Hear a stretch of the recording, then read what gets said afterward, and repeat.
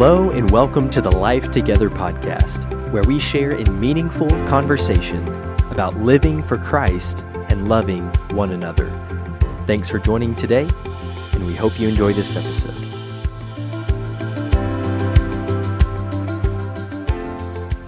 Hey everyone, I'm here today with Phil Robertson to talk about the way of evangelism. And I just love any time that you and Cheryl are in town. Love getting to spend time with y'all, hear your your wisdom, and uh, appreciate your family a lot. Um, got to see Gray a few weeks back. That was really cool.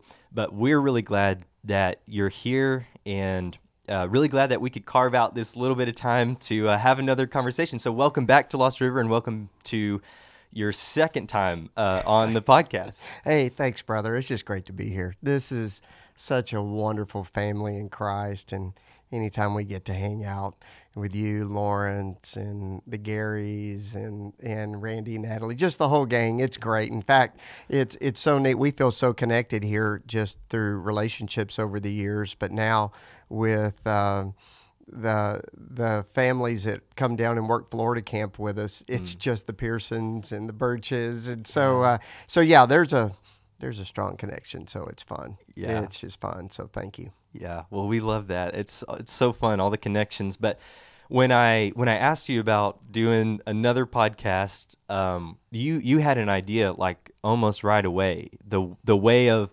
evangelism but uh, evangelism is one of those churchy words, you know. It's like we no one uses that word outside of a church setting. So maybe we can start with this. First of all, what what do you mean by evangelism? What does evangelism mean? And then why why are you so passionate and fired up about this? Maybe specifically right now, but I know that this has been a big part of your life and ministry uh, from the time that I've known you. So so just kind of break that down for us. How would you define evangelism for everybody? And uh, and then what makes you so uh, passionate about it? Well, uh, t- to me, evangelism isn't a program; it isn't a system. It's just a way of life. Yeah. And and we're disciples of Jesus, and there's nothing more important than sharing that story. And we get to share the story. Mm-hmm we, we get to share the story of salvation. We get to share the story of grace. The, the Lord allows us to be his messengers. I, I don't know about you, but I, there's not too many people in my life I would let speak for me. you know, hey, hey, if you'll go speak for me and share the way I feel, I was like, okay, that's going to be a very short list. But the Lord lets us speak for him, and that's the way he wants the message to be shared. And to me, that's at the core of who we are as disciples of Jesus to share his message, to share that with others. And it's a blessing, it's a privilege. It's it's just a way of life. It's it's who we are. Yeah. Well, I I love that description. It reminds me of Isaiah. I forget exactly which chapter, but it, it came to mind when uh, the Lord calls forth Israel as a witness and it's like, oh wow, what a prestigious position. And then it goes on to describe you're blind, you're mute, you're lame. it's yeah. like, but God says, I'm gonna do a work ultimately through my servant, which is of course Jesus, that's going to reverse that, and you're gonna become the faithful witness that I always wanted you to be. And so here we are, uh, you know, half maimed. Yeah. Sometimes we're blind and, and mute and deaf, and it, but God wants to use us to to share his good news with with the world, which I guess is in the in the most uh, basic way, I guess, is what evangelism quite literally means: just sharing the good news, um, being a good newser. Yeah. Um, so so what it, I mean, what a good life to live. And and also, if if I can just add to that, we're more apt to do something when we see the fruit of it. And and let's just be honest, for a lot of us, when it comes to evangelism, it is a little scary, uh, and maybe we haven't seen the fruit. Because if you go overseas, we're actually going to the Philippines here in a couple of weeks. So Cheryl and I are going over, taking some students with us. We know that over there in in countries like that, in third world countries, the gospel is spreading like crazy. And I think for us living in the states what hampers evangelism is we're we're not seeing the fruits as much, you know, or we feel the pushback uh, from others, and so maybe we're not as energized to do it. But but I would suggest I would suggest yeah. the fields are as wide as harvest for harvest here as they are over there. Yeah. And and when I think of my role as a preacher, I'm a preacher, I'm a minister, I'm an evangelist. Well, what does an evangelist do? An evangelist evangelizes. Yeah. That's what we do. Yeah. And and when we get to see the fruit of it, it gets us excited. Yeah, that is exciting. And I, I want to hear about that trip maybe toward the end. Maybe we can circle back to that. Uh, but you, you brought up the idea of these fields, um, the analogy that Jesus uses, and I think that's so helpful to to think in terms of there there are these different mission fields, and maybe we can think of it in kind of like four ways, kind of four categories that come to mind. These sort of fields of evangelism the the first, uh, or maybe I'll just kind of lay all of it out so we have like the working model, and then we can uh, maybe break it down. But uh, thinking in kind of concentric circles, it's like the mission field of family, friends, fellow citizens, and then foreigners. Going with all oh, F's here. I like that. So that's just how it was coming to mind. But fa- thinking of family is like th- this is your kids who are born and raised in the church, you have a missional field that is ripe for harvest, you know, right underneath you. And uh, that is no less important than the last one, the fourth one, the foreign evangelism. And so, sometimes we, we forget that, or, you know, we, we place more emphasis on, you know, going to these other nations and that that's what evangelism is really all about. But I think this idea that there are these fields ripe for harvest. Well, we've got a whole field right here of family, of people who are born and raised right here who ought to be like our number one priority because they're they're they're already among us. Uh, but then I, I think of friends being these are people who are friendly with the church. Maybe they're even coming week in and week out. Uh, maybe they've even been here months at a time, but the church has maybe not followed up with them, not reached out, not connected, not built any kind of relationship, and not led them to Christ. Um, so so they're they're friendly, but they're not a part of the body of Christ just yet. Um, and then I think of fellow citizens. These are these are the people you know who who you pass by every day. Uh, they're the people who serve your Sunday lunch uh, they're the people that uh, are your uh, your grocers and cashiers and baristas and all of that, and they're the people who you you work with. They're um, your friends and neighbors, and there's a whole missional field there. Um, and maybe that's where we most often think of evangelism. At least I would say that was that was kind of my experience. That the main field of evangelism when when preachers and teachers would talk about it was that missional field.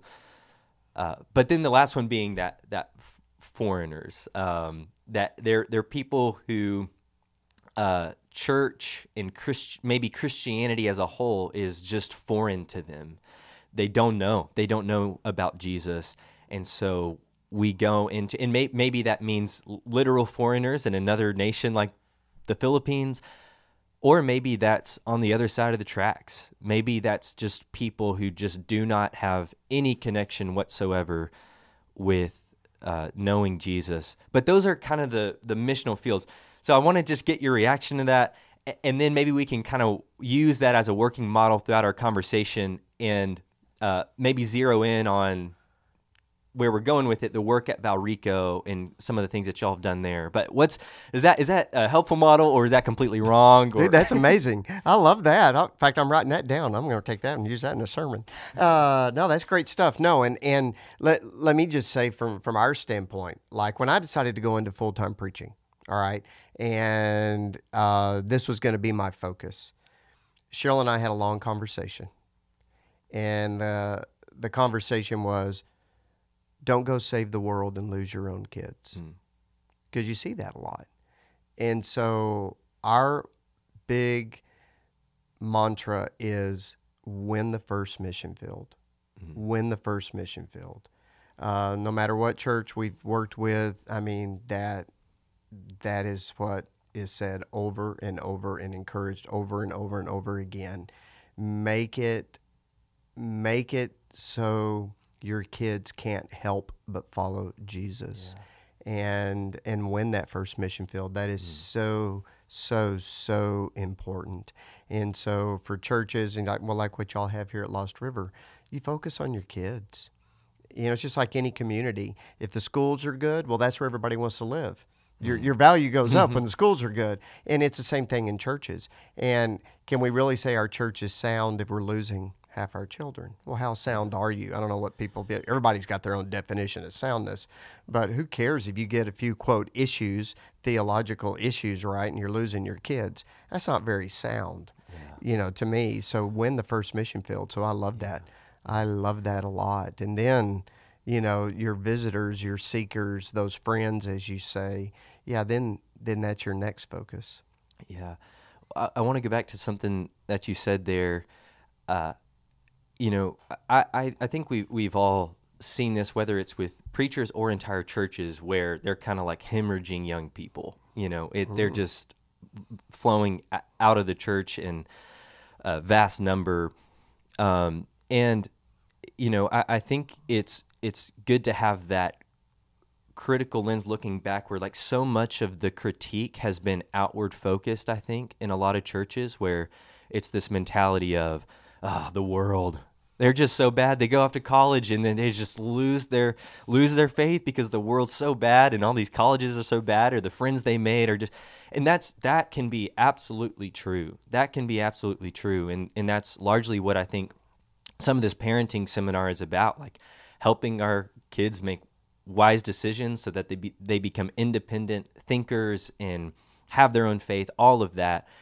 But if there's this consistent number of young people falling away you start to ask the question well is it me? Is it is it us? Are, are we doing something uh, or not doing something that is forcing young people away? You know what what can we do to uh, connect on a deeper level at the earliest level? What can we do as a church to as families and as churches uh, to um, to not lose so so many young people and so all that being said i'm i'm really grateful for uh, for the work y'all have done in in that way and and that kind of leads to maybe what was the start of your work at Glen Springs. So you've mentioned how when y'all got to Glen Springs, there was kind of a recent history of that very problem of uh, young people leaving leaving the church.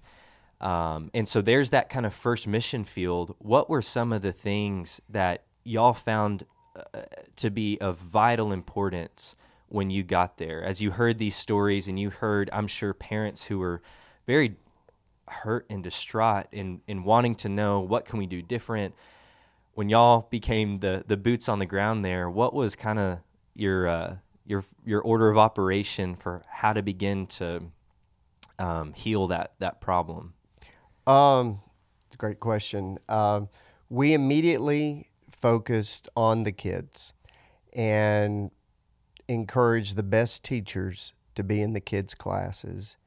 Uh, we started a teen weekend to focus on the teens themselves. And in fact, we just had our 14th. Uh, Oh, wow. 14th 14. teen weekend, annual teen weekend, uh, just last weekend. And so that excitement was just uh, contagious and it spread through the whole congregation so everybody got involved and and then the kids were strongly encouraged to be a part of teen challenge which was a monthly gathering at somebody's home to get the uh, kids together and encourage community among themselves uh, and camp became a big part of that as well. Let's go to camp. Uh, let's be in part of other teen weekends that we can go and be a part of, and and really focus on helping them grow in a relationship with Jesus, not just religion. Does that make sense? And now it is religion, but we, we wanted them to have their own faith and to help them grow in that faith. So there was a lot of time spent on, okay, what does the curriculum need to be? What do we need to encourage parents to do at home? Uh, and so it, it was just a complete um overhaul and change of, of focus. Now, that's not to say, and I'm very careful, Cheryl and I'm both very careful of this. Just because we have ideas doesn't mean this is the idea and this is how you do it. And we are certainly not the parental gurus mm-hmm. of, you know, that our advice or wisdom is great. It's, you know, most of the time half my half my ideas are good. Other half are horrible. But but it it it and it's also a reminder kids are going to make their own choices but we want to know that we did all we could to foster an environment where their faith could flourish and could grow. And we were blessed. Uh, another thing that we did too is we made sure that they had mentors in their lives other brethren. That was very important to us. You made sure you got your kids to hang out with and develop relationships with others who shared your values, who could guide them. And because when your kid becomes a teenager, they're done with you. They've heard you enough. They're going to need a fresh set of voices to speak to them. And they could say the exact same thing that you would say, but because it comes from their mouth, your kids go, "Oh, that's great," and you're like, "Hey, yeah, that's great. That's what you do." So we we tried to foster that and encourage that, and man, we were blessed uh, in our 12 years in Gainesville. Uh, and I tracked the kids. I stayed in touch with all the kids as they grew and matured. You know, we we were running uh, like a 90 percent rate of faithfulness among our kids. And I, I still stay in touch with them today, those who have gone through the ranks. And so it was a blessing. And I think it came down that that became the focus of the congregation. Win your first mission field. Win your first mission field. Yeah. Wow. So with with that group, um, I know it might be difficult to put a number on how many kids went through in those 14 years or so. Um, but you know, I, I would assume I don't know several hundred, right? I, I would guess. Um, what were some of the main questions, challenges, hangups that they experienced? Maybe not getting into the relational aspect because I think that's what the parenting seminar has been helpful with, but but maybe some of the the skepticism and doubt that uh, young people you know encounter either during high school or especially going on into college. What were some of the trends that you noticed that were leading people away from Christ? Yeah, there would be some at times, I guess, uh, maybe small specific things, but on on the whole, the the focus was okay. Here, if if your life is centered around your kid's education to the point that that consumes you and that's everything and and that's your focus. For example, uh, many of the kids, many of the kids that end up in these highly accelerated programs, IB schools, extra special schools. I mean that that is a red flag.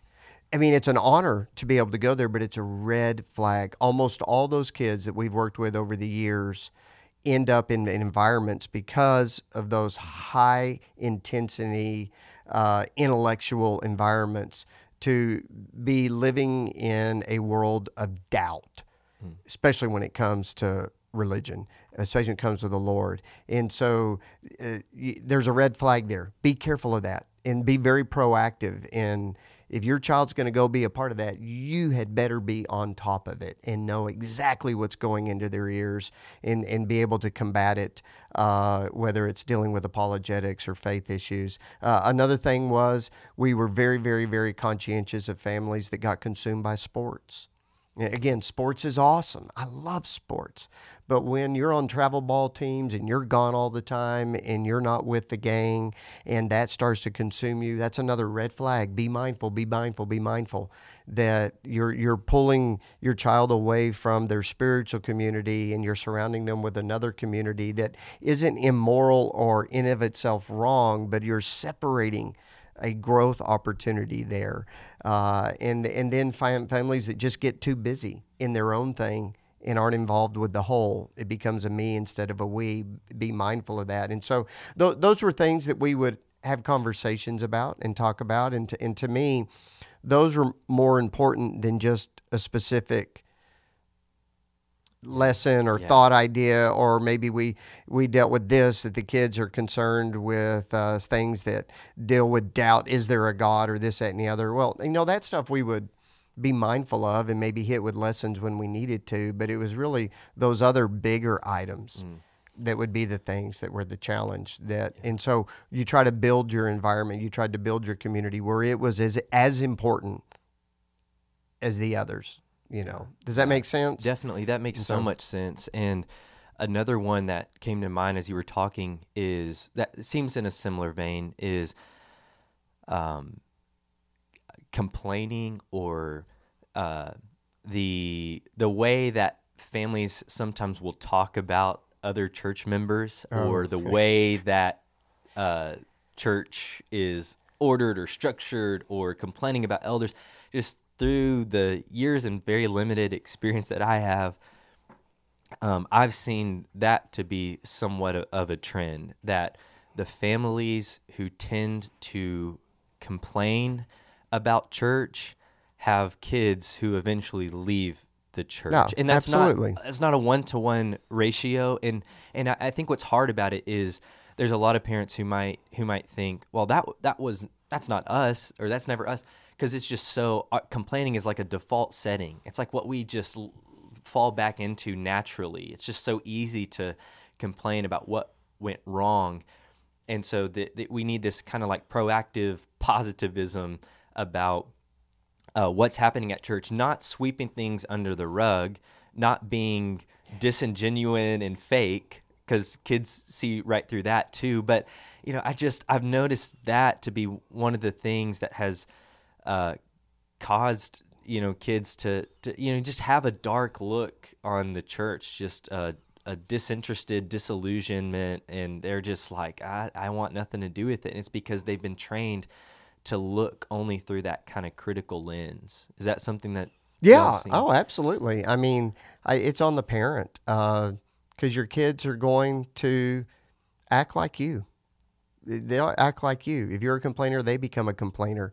Uh, here, here's another thing that we did at Glen Springs that was so cool, uh, and it wasn't so much Cheryl or I. It was just the environment. Uh, g- going to church was fun. I hope that doesn't sound sacrilegious to anybody out there, but I mean, it's a blast to come and you feel like you're walking through some sort of hall of fame where everybody's cheering for you as you come in the door because there's so much excitement uh, and hugging and joking and laughing and and that kind of fellowship spirit that kind of joy carried over into the assemblies where people were not afraid to laugh in the assembly.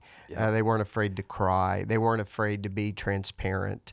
And the singing just blows the roof off. And so there's that excitement of community there that is with it. And then, you, know, making sure that the, the lessons are edifying and uplifting and, and, or, and, and have a purpose not just to have a lesson to have a lesson, but have a purpose to advance the cause or to grow the faith. And and and I think w- when your children see everybody serving the Lord with joy, well, that carries over.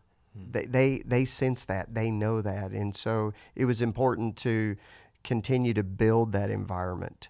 Uh, to build that joy to where it was like, hey, it's time to go to church. Wow, let's go Yeah. you know, because you didn't want to miss it. And and even when Cheryl and I were at Glen Springs last week, I don't go in a side door. I want to go through the front door, man. That's a fun place. That's where you meet everybody. That's where you know the the laughing and and the hugs and everything takes place. And and yeah, you don't want to miss that. And so when your kids see you happy. They're going to be happy. When your kids see you greatly interested, they're going to be greatly interested. When the kids see you saying, I don't want to miss this, then they say, I don't want to miss this. Yeah. Wow. So that that's a good segue into the second one, into the second mission field of friends, of people who are coming in and out of our assemblies, sometimes noticed, sometimes unnoticed. But I'll segue into that by saying I I remember that so well at Glen Springs. Everything you just described, it was almost like taking me back to that experience because it's so true. As soon as you walk through the door, there is an atmosphere that just permeates the air and you feel it and it's exciting and And I recognize that that's not without intention, that that's not without planning and preparation and devotion to the task and a lot of hands on deck to make it work. And so let's let's talk about the second one. So now um, y'all have uh, how long have y'all been in Tampa now and working with Valrico? Year and a half? Yeah, about a year and a half. Okay. Yeah. So so a year and a half in and recently you shared within what the past like 15 months there's been 24 baptisms. Did I get those numbers Yeah, right? Yeah, 24. So that's amazing. So just just tell us about that word, break that down for us, and then let's talk about that second mission field of people who are coming into our assembly and the importance of not only our church family feeling that atmosphere of love and hospitality and excitement, but then integrating new people into the mix and leading them into a transforming relationship with Jesus. All right. Well, uh, uh, just forgive me. I love talking about this. So you just cut me off if I get to go on too long because this is we we referred to it as the Glen Springs way, and and and it's nothing revolutionary. It's not a program. It's just organized community and and and organizing the follow up. And so here here's the way it works. First of all, no visitor, nobody touches the door somebody opens the door for you. You have greeters there welcoming people, cutting up with everybody as they come in. You know, you have your people at the door are really your office of first impressions. And so they're there, they're greeting everybody. Uh, what was interesting in, in, in Gainesville, they were also the watchmen. People don't know that, but they're on the lookout. Some of them were former officers. Some of them are, are just good old boys from the country. But you know, their their their eyes are open on on everybody that comes in. But they're so friendly. So the first thing is you you are immediately greeted. You don't open the door. The door is opened for you, and and that's really the message. The door is opened for you. You are welcome here. And then when you walk into the foyer, uh, the greeters are there, and we call this our our E team, our evangelism team, and and they are there to focus on the visitors. Sure, we want to say hey to all of our members, but their eyes are like hawks looking for the people who are new, the visitors, and they go straight to them and they introduce themselves to them. They get to know them, and they are the ones who hand them the visitor card. Nobody just grabs a visitor card out of the pew. No, we hand that directly to you and welcome you. And and it's at that moment you begin to assess their needs. Hey, we're a family that's just moved to the area, and these are my kids. Or uh, we we were seeking, just driving by. We don't know a soul here, but whatever you learn uh, you you make sure you are listening so that you can share that with the rest of the team. And so, if this family that just came in has kids and they're there for Bible class, you escort them to the Bible classes and introduce them to the teachers and introduce them to people as you go. So, the evangelism team is out there now. What we had in in Gainesville, and she's still there, is a lady by the name of Charlene Warren, and she is the most important part to our evangelism team because this lady is amazing. She literally writes down the name of every visitor who comes in the door. Now, we were a congregation of over 300, and so we would have lots of visitors at time. She was writing down their names. Now, she may have to get the name from somebody else on the E team, but she is very aware of who the visitors are. And so, what she's doing is helping us build a list of every visitor that comes in the door. And we, we would help her do that. And so, when Cheryl and I moved to Valrico and we were organizing the evangelism team there, we called this position the Charlene.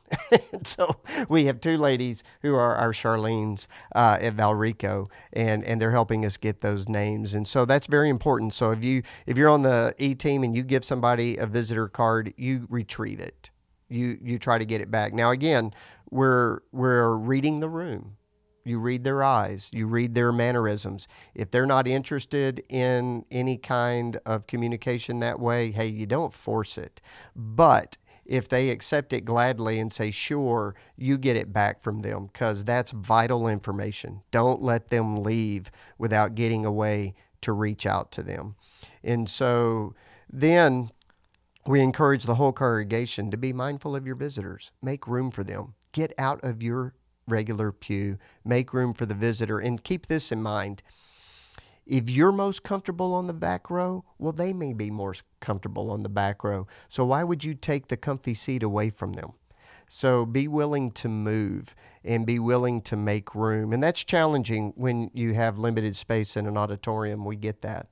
And so people have got to be willing to move. And so that's that's part of the environment that you want to build. So this family, this seeker feels comfortable because ultimately that's what you are. If anybody who walks in the door in any way where they're they're visitors who are just traveling from out of town or they're just driving by or they're checking you out they're a seeker and you want to be a seeker of seekers that's fish jumping in the boat. Don't miss the fish jumping in the boat. Don't let them get away from you and you don't have a hook or a way to reel them back in or to follow up with them. So get that visitor card. And so our E team is also texting one another. So once the assembly begins and everybody's in there, you know, the E team has a text thread going. it can it, it can go through church. Uh, I hope people don't think that we're just playing on our phones, but it's like, hey, did you meet so and so? Hey, Phil, just to let you know, there's a family here. Da da da da. It might be good for you to look for them afterwards. I caught them, and so we're we're very cognizant of who is there and who needs to follow up where. And people know don't talk to us. If you're a member, don't run up to Phil and start talking about the Gator game or anything else going on because he doesn't care at that moment. We're yeah. focused on visitors, so don't get us distracted.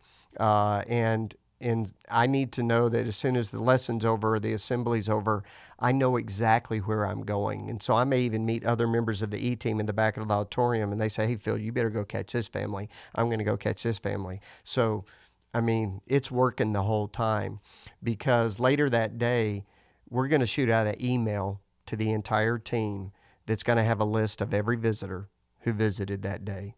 All your new visitors are at the top with all the information you were able to gather on them. Uh, and it includes address, phone numbers, what we may know about them, how we can serve them. And so we have all of our new visitors, and then every returning visitor is listed. And then the third list that goes out on the email are visitors that had been visiting for a while but weren't here today be mindful we did not see this person you know and so that's sent out every uh, sunday night or monday. And then you have people in the congregation who are willing to be your card writers. Your card writers send out cards because we want all of them to get you know three to five cards handwritten notes from members of the congregation. Lord willing people who met them and can make it personal. Hey, I met you. I don't know if you remember me, but my name is so and so, and da da da. It was just great to have you today. Hopefully, you can come back. So it's not just a blind card. You know, mm-hmm. it has some meaning behind it. And so you have your card writers, and then by the time I follow up with that person, either by phone or text or email later in the week, they've already been touched by a few folks, and it makes my follow up easier. Yeah. And then so everybody is followed up with one way or another. Because when somebody visits for a while and we are looking for opportunities there and it it's somebody that you know hey they want to learn the gospel or they want to learn more about this church then they go into what we have created as a live document where everybody on the e team can have access to it and there's somebody assigned specifically to follow up. Granted, we're all going to be in touch with them, but there's one person, you know, me or Ed, Cheryl, somebody is going to be the main contact. Hey, I know this person. I've had a great touch with them, or they're the person that I invited. Or I was talking with Jarrett. Jarrett invited them, and Jarrett said, Hey, Phil, do you mind helping me? Da da da. Well, then they have that contact. And then we have information there where we can always uh, add to it. Hey, I had a study with them. Hey, I took them to lunch. Hey, uh, you know, I gave them a call and I heard this, that, and the other. And then you're always listening for opportunities to serve because uh, a lot of people may have challenges going on in your life you know maybe it's a recent diagnosis maybe it's a it's a job challenge maybe there's something else going on well you add that to the live doc and we're going to try to help serve them in that way the best we can and because people are hurting, they're looking, and and we get to speak for the Lord, and we want to help heal that hurt. So that that's what we do, and it's been very effective, very effective. And then you make sure you follow up. That's the main thing. Make sure you follow up and stay in touch, and um, you don't let people just slip through the cracks. Uh, you try to make a personal touch with them and, and move the relationship along. Wow. So forgive me, that was a lot. I'm sorry. No, that's that is fantastic, and uh, that's exactly what I mean by when when you walk in the doors of of Glen Springs. That's what it felt like, but behind the scenes, you see there's kind of this mass operation that that a lot of people don't know about, and maybe even within the church, some people aren't familiar with all the ins and outs and the gears that are turning to make this machine run like it is, and so I, I, I really I really find that helpful. Um, I want to just just quickly run back through it sure. in, in fast form and maybe ask uh, a couple of questions here and there. That way, we just have it fresh on our minds. But uh, so number one, nobody touches the door. Right. Um, and what I like about that is it's it's about sending a message, and that message is our doors are always open for you. I love that. I love that mentality, that spirit, and uh, I love how that's played out in specific action. Uh, the E team, I just like that name. First of all, that's cool. I mean, who wouldn't want to be a part of the E team? Uh, but the E team focus on visitors. I wanted to ask about how many people are on the E team. I know there's a sense in which everybody's kind of involved, but what what would be like the specific number on your E team at Glen Springs, or if the or if it's similar size, Valrico and Glen Springs both. But for a congregation of like 300 how many people do you have on your E team? Uh, 10. It's about 10. Okay. Uh, it's about 10. Uh, and, and then we have some who are a part of the team who may not be as involved as others, but they're there helping us great. We have a couple of older ladies who are just the sweetest things in the world, but they're not going to be able to run around to everybody, but they want to be in the foyer helping greet and helping get information. So there, there's about 10 of us. And then in the E team, you have your Charlene's. Uh, you have those who are just greeters and and um, visitor card retrievers, uh, and then you have a few of us who are the Bible studiers as well as that. Gotcha. You know who who are really going to get into the weeds and in the trenches with these folks. Okay, cool, cool. So so about 10 on the E team. And then from that core group, it kind of spreads out to the whole church, it sounds like. So there's this there's this expectation that everybody is participating this and creating this special atmosphere and environment of making room. Uh, which is that's I don't know if you know this, but that's our theme for the year. Oh, our it? theme for Oh. this year is making room. So that was very fitting. That's great. But so that so that's the idea. Everybody making room, and I just want to make a special note of that because uh, any any I think that's so helpful to to think about the idea of making room in a very practical way. Because like you said, there's people who come in. If you're comfortable sitting in the back, most, I mean, how much more the visitor, right? Yeah. And so recently, we've uh, a lot of people have, uh, by way of invitation, moved up more to the front. We've kind of we've got a mosh pit going in the middle. Is what it feels like. So there's people in the splash zone now, so that's fun. Um, but we've got uh, in the in the back, um, you know, finally so, some more space where people can feel like they belong, and I think that's also helpful uh, for logistical reasons because that makes it easier, I would imagine, for your E team to say, okay, you know, I, I don't have to, you know, look carefully in, in the midst of every row. I mean, by then they've already they've already been greeted, they've already a lot of their information, but it probably makes it easier to follow up if there's that room in the back where you know most visitors are gonna feel comfortable and your eyes can go there first. So there's just so many practical reasons I find that helpful. And then uh, the email list, that's so cool. Every Sunday, that being sent out, um, both who was there and who was not there. And then the card writers, it sounds like that's a different group. It than is. the E uh, team? it's it's uh, it's kind of an expansion of the E team. They're the people who uh, have just they're, they're they want to be involved, and this is a way that they can be involved. But here's here's the challenge we have for them, Jarrett, is we want them to meet visitors as well. Okay. You know, you keep your eyes open because you're going to be writing a card, and it's going to be much easier to write that card if if you actually met that person. But yeah, that's kind of an expansion of the 18. Okay, cool. Um, and I like the, the emphasis on that being personalized, not just this general, you know, just put a stamp, you know, and just stamp it and send it. But there's there's more to it than that. It's personalized. The live document where that's always updating, that's that's really cool. That's really helpful. Um, we we actually have. I don't know a, a ton about it, but I know that there's a couple members here who have done some of these things, and I think that live document is part of it. And then uh, I like the follow up of how can we serve? How can we serve? It reminds me of in in John when Jesus is walking along and two of John the Baptist's disciples are following close behind, and Jesus kind of senses their presence. He's like, turns around and, he's, and he asks the question, What are you seeking? His first words in the Gospel of John, which I, I don't know if there's any meaning behind that, but I love that because if you know the rest of the Gospel of John, it's like, That's it. That's what it's all about. And uh, he asks the question, What are you seeking? And so it's this, it's this, uh, perceiving other people's needs, um, asking how can we serve them, and then of course his his invitation immediately following that. After he asks, "What are you seeking?" he says, "Come and see.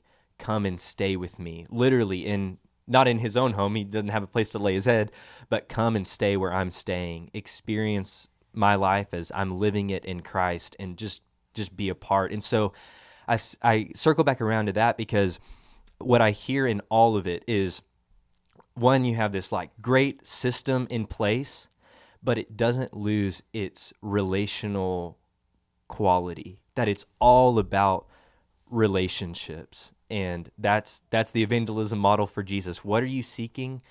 And come and see. Invi- an invitation to participate in uh, in his life. Yeah, man, I hadn't thought about that passage, but that's a great passage to use for this, because uh, ultimately that's what you got to do. We're we're always going to be more receptive to a relationship than a formula, and it's the old adage: people don't care what you know until they know how much you care. Mm-hmm. And if you can, and, and that's our deal. That's what we try to remind everybody of there's different levels of friendly. Everybody claims to be a friendly church. You ever notice that? Everywhere you've gone be a friendly church, and you're the visitor going, wasn't very friendly to me. Because friendliness can be very subjective. There's a friendliness that comes when you get on an elevator. There's elevator nice. Hi, how are you? What floor? But then you don't even want to look at them. You know what I'm saying? And you're just waiting for this to end, and you have to be quiet. And then they leave, and you say, "Have a good day." You know, that's it. Well, that's not our level of friendliness at church. Please, no, we can do yeah. better than that. Friendliness is not elevator friendliness. True biblical Jesus friendliness is making room mm. for someone in your life. And and that's hard for us sometimes at church because another thing that we have to constantly remind each other of is some of us are blessed to have all of our family with us at church. Hey, there's mom, there's dad, there's aunts, there's uncles, and you have your own pew and you all go eat together right after church on Sunday. This is what you do, this is what you hang out with. And well, that's a blessing, but that's also a curse. Because if that's your focus when you come to church, you're not going to be a good evangelist. Mm-hmm. You have got to recognize you have to make room at your table. Yeah. You have to make room in your life. And and we're the body of Christ. We got to be mindful of our cliquish attitudes. Yeah. And if you want to seek the lost, you have to make room for the lost. Yeah. It's not just hit them with some information and ask them to obey it and do it. No, no, no, no, no, no. It's inviting them to be a part of your family. Yeah you know, and that's the metaphor I like to use. Mm-hmm. We're a family of Christ. This is a family, and there's always room for another seat at this table. Always. Yeah. Oh, I love that. One one way that I've thought about it is like living life with an open door, an empty chair, and a ready room. Oh yeah. That like That's yeah, nice. open door. There's always that that open door policy, welcoming people in. An empty chair. If you don't have somewhere to sit, you can sit right here by me, or maybe I'm going out of my way to sit by you. And then if it if it calls for it, and and in fact, our hope even is that we've we've got a room prepared. Maybe even literally, you need a place to stay. We got you. You know, but that mentality of this sort of progression, an open door. Maybe that's all people want, but maybe they need that empty chair, uh, and then perhaps in the in the in the deepest level of relationship, that ready room, that desire. Hey, come make your home with us. We we want you here uh, in the long term. And so that that leads into one more question that I want to ask about this uh, this second missional field of sort of friends, people coming in and out of our group.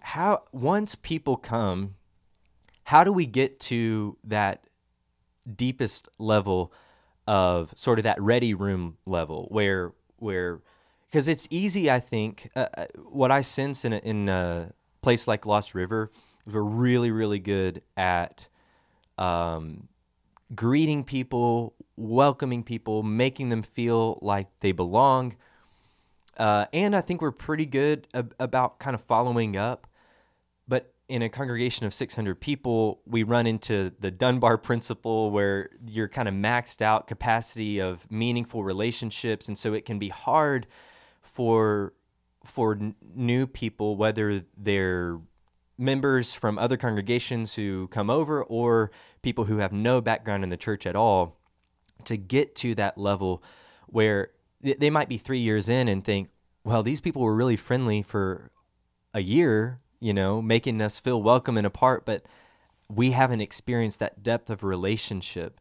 So is that part of the the E team at all or what has been y'all's experience with getting to a point? I know some of that just has to happen naturally, but is there anything that y'all have noticed either through the E team or uh, just through your experience in churches that foster that sort of uh, bringing together of new members and actually making them feel like you're you're not only invited here, but you are now a part of this family, and we have deep, meaningful relationship with you. How do we get to that point? Uh, well, I think a lot of that's communication through the ranks from the E team to the elders to the deacons to other members. But let me, I'll just take you through it for us. So here's a seeker who's come in the door, and we've been blessed with numerous people recently who had no ties to Valrico, none. And either they were invited by a friend or they were just driving by uh, or whatever reason brought them to us. Well, immediately, my responsibility as an evangelist who is longing to evangelize is we have to establish a relationship with this person. And we need to know that they have entered a realm where they're going to be cared for and heard. And so that begins with me and others willing to go get coffee with them, invite them to dinner, listen to them, find out where they are, what their needs are. And that just takes time.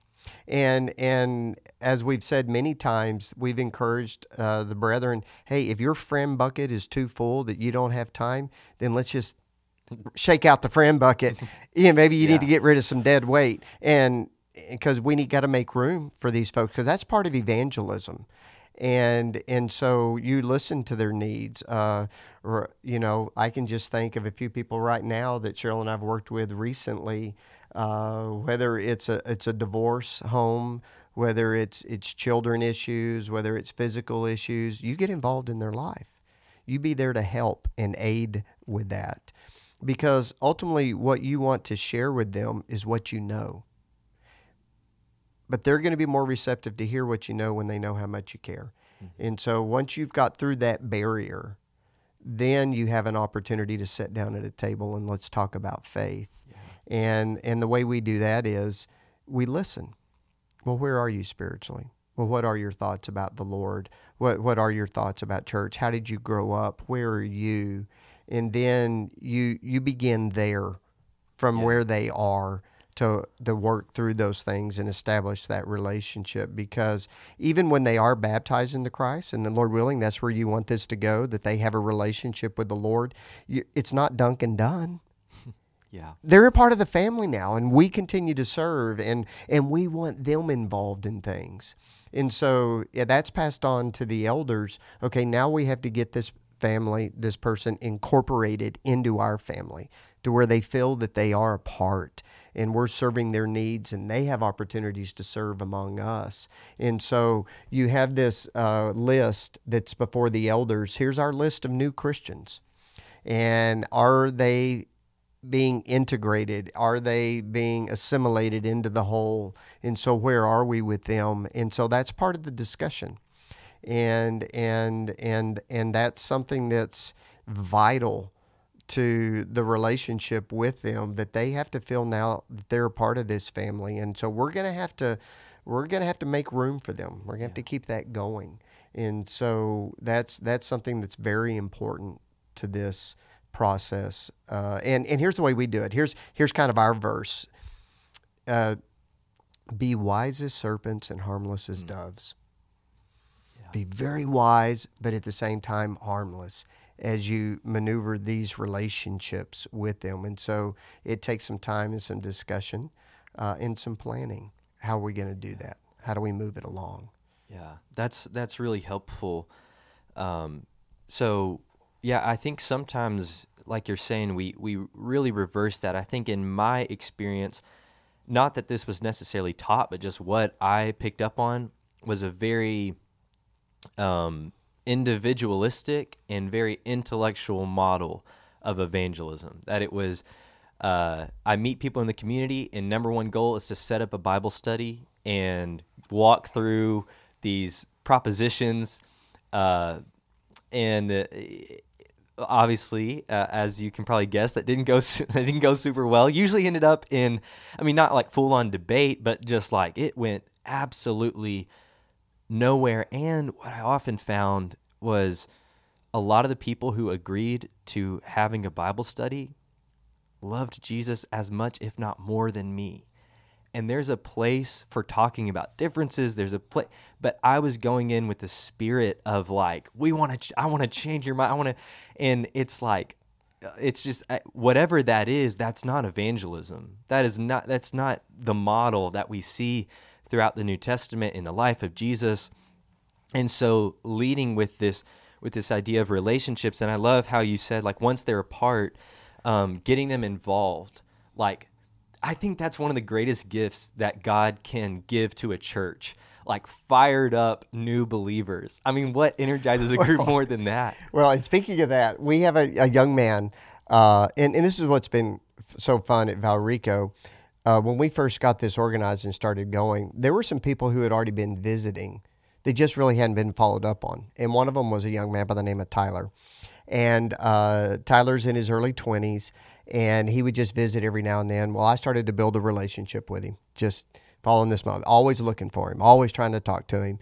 And, and, and I never used the word study. I've never done that. I've never found that helpful. Hey, you want to have a study with me? Hey, you want because th- th- that that I don't know for some reason in our minds today for a lot of people that that just maybe encourages conflict or division. I'm not sure why, mm-hmm. and that may be a bad way to characterize it, but nonetheless, we have found it's better to say when somebody's showing a lot of interest and they'll say something like, you know, I just have never felt that close to the Lord, or I haven't felt like I said, well, would you like to learn about how to do that? Yeah. Would you be willing to show me? Sure. Because if they ask for it, it's a lot easier to share it. And then you can sit down and talk. And that's the way it was with Tyler. He said, you know, I, I, I, I, I'm not sure where I am spiritually. And and I was baptized as a kid, not sure where I am, and and and so he and I just developed a relationship where he was making those kinds of statements, and I said, well, would you like to think about this more? Could I help you be a little more confident in your salvation? He's like, sure. What, what? I said, great. So we would meet and talk, and I would just share verses with him and just share uh, things with him. And but once he became a Christian, this is where I'm going with this. He's now our top evangelist. He invites the world. That's And he immediately, immediately said, "Hey, can I be on the E team?" Uh, yes, yes. And so he's the guy standing at the door every time. He's invited. In fact, two co-workers have already become Christians that work with him, and he's got a third that's coming now, as well as his brother. You know, yes, Tyler, you can definitely be a part of it. And so there's that energy uh, that that comes from that, and then that just energizes the whole group when you have that kind of spirit out there. Yeah, that's amazing. Reminds me of the woman at the well. You know, she she after you know meeting the Messiah at this well runs into town, leaves behind the water jar, her old way of life, and says the same words that Jesus started with in John chapter one: "Come and see." And uh, that that excitement, that energy, that that new followers of Jesus bring is, like I said, just one of the greatest gifts that I think God can give to a church. And that I think is a good segue into the, the the, third missional field here, and we'll hit these last two a little bit a little bit quicker because I know the uh, the second one was what we really wanted to focus on, all the work at Valrico, but getting into this third missional field of sort of the the fellow citizens to take uh, to to stick with the F's there, um, the fellow citizens. I like what you said about kind of in rebuttal to getting stuck in the Dunbar principle of you have like like five really intimate close relationships and then I think it's like 15 uh, medium and then like you're you're maxed out at like 100 meaningful relationships. That principle is true yes but in rebuttal to that what if the call for us as Christians is to every so often take inventory of, of if we are or aren't maxed out. And if we're maxed out, empty that friend bucket, not dump everybody out and cut ties and don't talk to anybody, but, but the same idea of making room. So, yes, Dunbar principle, that's a real thing, but there may come a time where if it is maxed out, then you got to make some changes. And so that leads into, I think, this this field where when people are in their uh, jobs, careers, when they're out in the community and they're meeting people, I think sometimes Christians don't do well in this missional field because they're maxed out. They have so many amazing, good, deep Christian friends that all their time is spent with either their immediate family or the family of Christ. And so their they their friend bucket's full. And so how do we how do we adjust that in a healthy way? And then i would love to hear about your own experiences because i remember uh, you know hearing about glen springs. I mean the, the people that you connected with the, the friends that you made and the ways that they knew how much you cared uh, was really impactful for me to hear. And I, I know that would be helpful for all of us to hear about that. So let's talk about that third missional field. Well i think if you're and, and that's a challenge. We live in the south and we live in communities that are filled with brethren, and that's a blessing. But we've got to recognize that blessing can be a curse. And if we're consumed with nothing but our own family and our own church friends, and we don't have time, we need to do a healthy audit of who and what we are spiritually. Uh, and and we've got to make room for this. I think that's important. And uh, the friend bucket analogy, yeah, it, it's time to make room. And and and so to be somebody who can see the fellow citizen, here's here's kind of the mantra for me and Cheryl. Evangelism is not done as much with the mouth mm. as it is with the ears and the eyes. You are listening for opportunities and you are looking for opportunities because there's people all around us who are hurting, they're confused. We just need to be mindful and open to it. And and and so you listen for opportunities to serve them. Uh, you listen for opportunities to reach out to them. And, and you've got to be looking for them, whether in the coffee shop or they're at the gym or they're in the workplace. But you'll you'll hear of the challenges in their life, and and hey, I, I heard that about your mom or your dad or or what's going. Hey, I'm going to keep that in prayer. Do you mind if I keep that in prayer? Or I've I've heard about your your children and, and there's this that and the other. Have, have you ever thought about sending them to camp? Because you know my kids go to this camp and man, it's such an awesome opportunity and they get around such good kids. You're looking and listening for opportunities and and and I think one of the ways that we've always thought evangelism to be it's I'm looking for an opportunity to get a Bible study. Who can I just drop this card on? Will you study the Bible with me? And and there's nothing wrong with that, but I don't think that's very effective today in in some communities. Yeah, that may work in a foreign evangelism field uh, where life is so hard that people are looking and looking desperately uh, to find some hope. But here we live in the land of prosperity and prosperity is not our friend. And it makes it hard to find people. So we're going to have to be open and we're going to, to be looking and listening for those opportunities so you can make those touches. And, uh, you know, I, I found when I was at a CrossFit gym, and you talk about a different world. Oh my, uh, moral world, you know, it's a different world.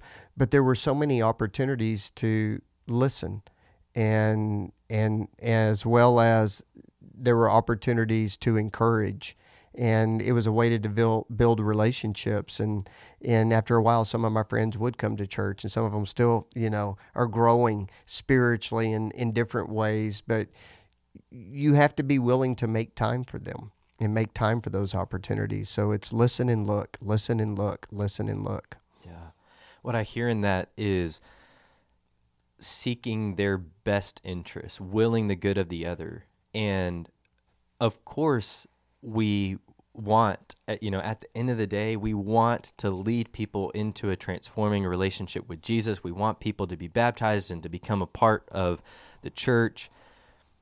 But it it leads with simply willing the good of the other, willing their best and what I've seen and experienced, even just in myself, is is this tendency at times to almost subconsciously and unknowingly turn people into projects where it's like, all right, you know, you're my target, you're my fish, I'm going after you. I'm I, you know, now now I got to I got to convert you and um and then it leads back into that like hyper individualistic and intellectual model that I was used to and and it's just that's not that's not and people see right through it too. You know, people know when when you're just when you have some agenda in mind. And so it's I mean it's a hard balance. It's like this tension to navigate where it's like yes i guess if you if you want to say we have an agenda there's an agenda but it's because I this is the life that I have experienced in Christ and I just want you to experience that too and I'm just I'm willing the good of the other and so that that starts with I think what you're saying the looking and seeing and like that's that's Jesus throughout his life. I mean think about how many times it says that um, in seeing the crowds he felt compassion. It's like do I see the crowds that way? I'm like You know, I'm like, ah, the, people are in my way. Not, I see through the eyes of compassion. I'm looking at their needs. I'm reading the room. I'm seeing their expressions, and I'm noticing, uh, and then feeling the compassion. And that compassion compels me to uh, to lead them to Christ by simply making a meaningful connection with them. Um, so yeah, I like that looking and listening. That's where it all begins. Yeah. Well, and and and and I think we got to bear in mind too is we become a seeker of seekers, and if somebody's not seeking, it's going to be hard to communicate that with them, and and we can't we can't feel obligated to try to force that. Where our goal is to try to help them become a seeker, because when they ask for it, then then you mm-hmm. have more opportunity, and so you, you've got to be mindful. I mean, you think of the people the way the Lord worked with people. You know, Zacchaeus was a seeker. You know, the woman at the well became a seeker. Uh, he he was able to develop a relationship where they sought it, and and that's what we've got to be mindful of too. You can't force it, yeah. and so you want to become a seeker of seekers. And let me add this to everything too. One of your greatest evangelistic tools is your assembly, mm. and especially singing. That's one of our greatest evangelistic tools. uh, because we live in a world that is going to come into an assembly like ours and it's going to shock them because of what's not there. This is weird. This is odd. And they're going to think one of two things when we start singing wow, this place really needs a band. This is horrible. Or they're going to think, I wouldn't put a piano in here for nothing. This is amazing. And so the worship assembly needs to be inspirational. And I think that's important. I think that's very important. Uh, just like you wouldn't put anybody up in the pulpit because you got to be mindful of the way we may say things, and you don't want whoever gets up there to ruin your opportunity with your visitor that you brought. You know, don't go up there and do anything dumb that now I've got to clean up your mess. You know, the same way that our, our, our worship service, you know, our singing, everything that we do, I think needs to be inspirational because we got to be mindful of that. That we we need to build an environment that is drawing people to the Lord. Yeah. You know, and and I'm not don't don't, don't misunderstand. Me. I'm not saying uh, uh some superficial that's mm-hmm. all built on feelings and emotion. No, not at all, not at all. But but it, it it needs to be something that makes people go, "Whoa, yeah, this is worship. Now, this is worship. I I want to be a part of this." Yeah. And I I think that's important. And and especially in Gainesville, that was one of our best evangelistic tools. If we got you to the building, we got you. Yeah. You know, yeah. there, there, there's great opportunity there because uh, they their desire to seek is going to shoot higher. Yeah.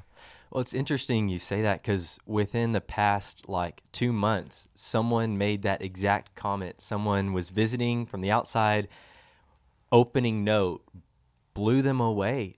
Not because we're the most talented singers. I mean, we have some very musically talented people here, but they just had never experienced anything like that. And and so how much more does that call us to, you know, we, we just get so used to it. We take it for granted. You know, most people grew up with it and it's sometimes it's almost like people almost view it as a as a bore. It's like, all right, we've got three songs, and then the sermon is really what we're here for, or maybe not at all.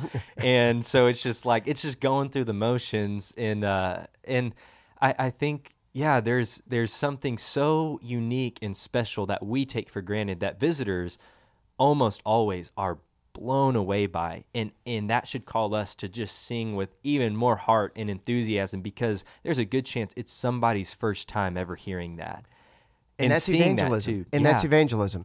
Yeah. Everybody's a part of this. Everybody's mm. a part of this, and that's what we try to remind everybody at Valrico. And like we did, hey, you're a part of this. You are a part of this. I need you to sing out because you're preaching a powerful sermon when you sing these songs. Yeah. Uh, I need your joy to to be something that is contagious throughout the rest of the congregation, you know, and especially the visitor. Uh, and so we we need you to do that because yeah. I need that. I need yeah. that because I want to go back to this person later this week, or I want to go back to them.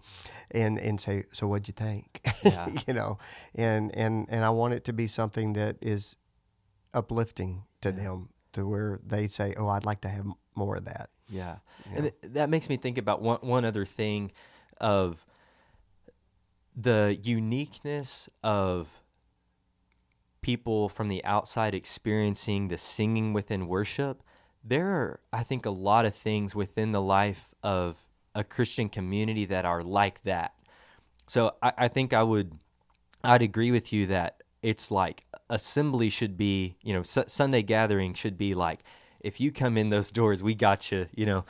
But I think there's other things that are so unique. Even a Christian family household, you know, uh, when people experience that, there's something unique. There's something special about that. And, you know, I, I had a friend growing up who uh, didn't really grow up in a Christian home, but he came to our home and he experienced something that was very different. And eventually, years later, he became a, a Christian partly because of, of those early experiences in middle school and high school, seeing that. And then also just the Christian fellowship outside of the church building, like being brought into uh, a, a smaller environment where you're in people's homes and you're just sharing a meal together and praying together. That is another thing that, just like that singing and worship, that just kind of blows people away. It's like there's something different here. There's there's a different atmosphere. The Lord is in this place. Uh, that that there's so many opportunities like that, and I think uh, inviting people into homes is like top of the list um, because it's it's that Oh yeah, relational. I mean, yeah. hospitality. That that's one of your greatest tools of evangelism. And look at the first century saints. How often hospitality w- was mentioned and even commanded uh, of our shepherds. You know, and and you see it among the saints, and you see that as one of Paul's great uh, admonishments in Romans twelve when he talks about, hey, here's a transformed life. Be hospital, Yeah. hospitable. Uh, be the person who is, you know, open to all, and especially those of the household of faith. So, so absolutely, and and those are great opportunities. Your team weekends, your special gatherings. These are opportunities to get people to experience this community, to experience this faith that aren't exactly church yet. Yeah. You know, but you're moving them closer along, and and we've seen that to be a great tool for us over the years. yeah. So love it. Yeah. So last one, the the field of, of foreign evangelism. Let's just uh, approach it just by talking about this upcoming trip. Um, I think this could be a whole other episode, and I actually think I'm gonna get to talk with someone specifically about foreign evangelism maybe in the next month or two. But I do just want to end by hearing about uh, this trip coming up, what y'all are excited for, and what that's going to be like. Well, when I when I took the job at Florida College, uh, one of the things that Dr. Weaver was willing to let me do uh, was to be involved with the students, and I wanted to in, to be a part of the team to help inspire them to take their career, take their education, and and use it in a way that it glorifies the Lord, that you become a kingdom worker. And so that includes, you know, becoming uh, evangelist. And so we we've been in looking for ways to get the kids to go with missionaries. Uh, we've had kids go to uh, Jamaica already, Honduras, and then Cheryl and I are taking uh, some students, and we're going to go to the Philippines during spring break because we know that it's going to be transformational for them Yeah. just to see a different world. I mean, I've been down to Nicaragua, I've been to Mexico. I, I I've seen people who live in homes that have dirt floors, uh, that are in poverty, but mentally, emotionally, spiritually, they're much richer than me Yeah. and and so we want the students to experience that and and to see that their education is now going to become a resource opportunity whether it's making money you know you, every, every single one of us have time talent and treasures and everything that the lord asks of us is what he's already given us Yeah. so you've been given this opportunity to get an education now we want you to be inspired to share it with others and so taking them to the philippines is is a way to do that. And and let me just say, I'm not your guy to talk to about the foreign evangelism fields. I'm pure rookie. I just get excited about it and want to go with others. I, I am clearly not the expert there, but I know that this is a way to help inspire students to be mindful that they can now become great instruments in the kingdom and that's what we want this to do. So we're going to go and hang out for a week and visit a few churches. We're going to do some VBS style teaching. We're going to do kind of some camp. Uh, the, uh, the, the kids will become camp friends, and we're going to work with some of the older teens in that way. Uh, I'm going to do some studies with some preachers over there, and then we're just going to have some assembly time and hang out with the saints. So that they're going to have opportunities to get involved. The the students are to, to be a part of this teaching process as well. Yeah. Wow, that's so awesome. I'm excited for y'all to to do that. Excited for the students. I mean, I really wish they had something like that when I was there. I would have eaten that up. Well, I actually did get to go to Jamaica with the Tants. Yeah, you went so, with the Tants. Good. Um, so that was really cool. And we there was like a, about a group of ten students who went, and w- seriously, like one of the most transforming experiences of my life. That's that's actually where I decided that I wanted to preach. It was the first trip I made to Jamaica, and actually leads to how I kind of wanted to wrap this up. I remember uh, David Tant walked into the hotel room Saturday night and was like, "Hey, which of you guys want to preach?" And my two roommates, my two best friends, looked at me, and I had no one else to look at, and so I was like, "Oh, great, I'm I'm up." And so I preached this sermon in another country, and the, only time I've been out of the country, and uh, you know, I, I still remember it. Um, I try not to remember the sermon itself because it was just not any good. I know, but they were so so gracious, and I was so thankful for that opportunity, even though I was uncomfortable and, and unsure of myself and all of that. And I remember on the van ride back into Mo Bay it just dawned on me. I'm like looking out the window and the Great Commission, Matthew 28 19, go make disciples of all nations, baptizing them in the name of the Father and of the Son and of the Holy Spirit, teaching them to obey everything that I've commanded you. And surely I am with you always, even to the end of the age. And that just that just hit me in a different way. And I know it doesn't mean like like we started this no mission field is more important than another. That doesn't mean that you have to go to another country and that's how you fulfill the Great Commission. There's the mission field of our high school and middle middle school students right here in your own families to pour into, but somehow I think it's good to be involved in, in all these sort of four main categories, these four main missional fields, but but it just hit me in a different way. And that's what really motivated me to go down this path of of preaching and what's stuck with me most from this verse is two things. First, it gets right back around to this relationship. Um, he says, baptize them in the name of the Father, the Son, and the Spirit. There is no more loving and deep and relational community than the Trinity, right? Father, Son, and Spirit. It's like we're this is not just a label we slap on people when they come up out of the water or right right, right when we're about to dunk them. It's like no, when you're when you're baptized, you have now become a part of the life and love of the triune God. It's so inherently relational. And then the part that resonated with me most uh, on that van ride back into Mo Bay there in Jamaica was surely I'm with you always, even to the end of the age. I needed to hear that then. I was so like nervous and didn't know what I was doing and still don't. And that constant reminder within this Great Commission hey, if you're in these missional fields, I'm with you. Do we as individual Christians and as a church want to be close to Jesus? Well, the surest way to be close to Jesus is to go where he said he would be with us, and that's into these fields of mission. Because as he said, the fields, wherever they may be, are ripe for harvest. And what an exciting and awesome thing it is that we get to be the ones who continue his kingdom work right here on earth. Yeah. Well said, man. I can't say any better than that. Yeah.